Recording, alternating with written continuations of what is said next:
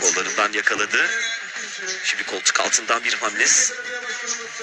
Kasnaktan tuttu Ali Gürbüz. Sonrasında bu da indirdi rakibini.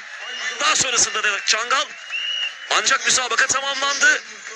Çok çabuk bir biçimde. Ali Gürbüz kazanıyor. Gerçekten ne kadar fonda olduğunu Ali Gürbüz net bir şekilde Fatih Atlı karşısında gösterdi. Oldukça kısa süren bir final müsabakası oldu. Ali Gürbüz kazandı. Ve Hünkar Çayırı yağlı güreşlerinde baş pehlivanla Ali Gürbüz ulaşıyor.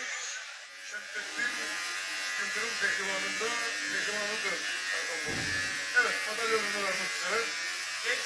Başkanımız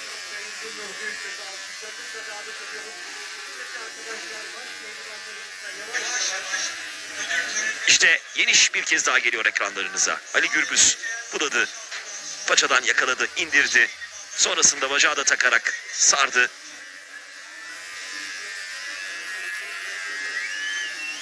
İşte bu geniş açık düşürüyor rakibini. uneixi, uneixi.